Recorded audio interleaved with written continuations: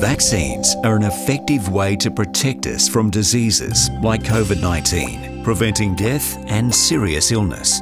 Vaccines can take a long time to develop because they must undergo multiple phases of clinical trials.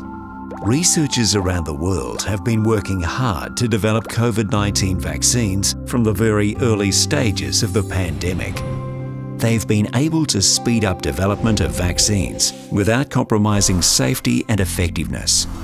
Thanks to the collaboration between scientists, researchers, manufacturers and distributors, the development and implementation planning phases have been run side by side instead of one after the other. Research into how to respond to a pandemic has been ongoing long before COVID-19. This research looks at data from previous coronaviruses, such as SARS in 2002 and MERS in 2012, giving researchers a head start to build the COVID-19 vaccines.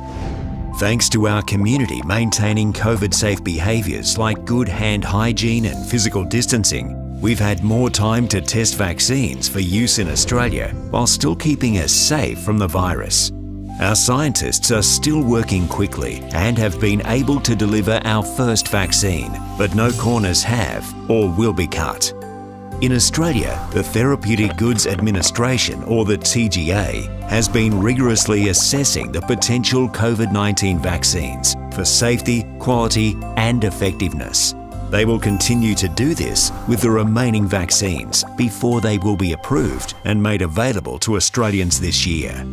Once approved, each batch must also be checked to make sure it meets the same quality standards. All these steps are important before the vaccinations begin. To learn more, visit health.gov.au.